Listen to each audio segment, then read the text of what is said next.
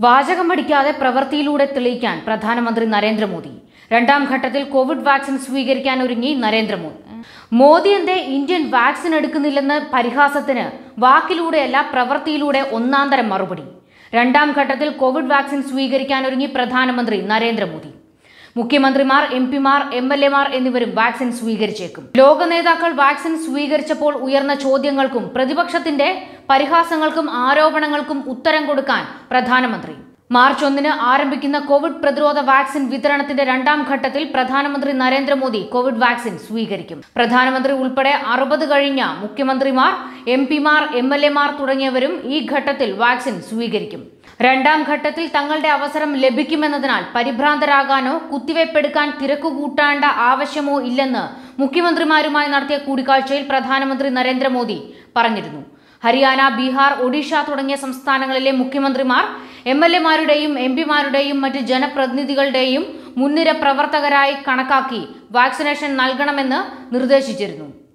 നേരത്തെ പ്രധാനമന്ത്രി കോവിഡ് സ്വീകരിക്കണമെന്ന് പ്രതിപക്ഷ സംഘടനകൾ ആവശ്യപ്പെട്ടിരുന്നു. പ്രധാനമന്ത്രി സ്വീകരിച്ചാൽ മാത്രമേ വിശ്വസിക്കൂ എന്നും ഒരു ഘട്ടത്തിൽ ആവശ്യം ഉയർന്നിരുന്നു. പ്രതിരോധ യജ്ഞത്തിന്റെ രണ്ടാം ഘട്ടത്തിൽ ഇരുപത്തിയേഴ് കോടി പേർക്ക് വാക്സിൻ കുത്തിവെക്കാനാണ് ലക്ഷ്യമിടുന്നത്.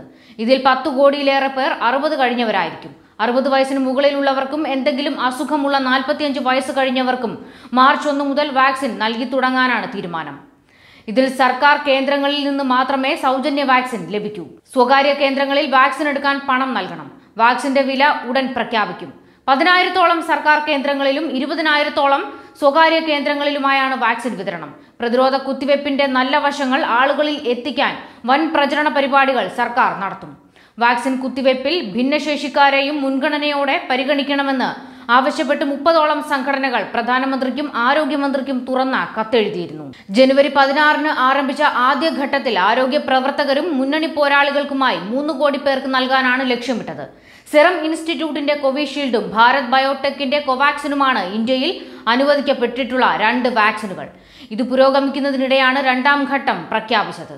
ഇതുവരെ വാക്സിൻ സ്വീകരിച്ചവരുടെ എണ്ണം ഒന്ന് ദശാംശം രണ്ട് ഒന്ന് കോടി കടന്നു. ഇതിൽ അറുപത്തിനാല് ലക്ഷം ആരോഗ്യ പ്രവർത്തകർക്ക് ഒരു ഡോസ് നൽകി. പതിമൂന്ന് ലക്ഷം പേർക്ക് രണ്ടാം ഡോസും നൽകി. മുൻനിര പോരാളികളിൽ നാൽപ്പത്തിരണ്ട് ലക്ഷം പേർക്കാണ് ആദ്യ ഡോസ് നൽകിയത്. ആദ്യ ഡോസ് കുത്തിവെച്ച് ഇരുപത്തിയെട്ട് ദിവസം കഴിഞ്ഞാണ് രണ്ടാം ഡോസ് നൽകുന്നത്.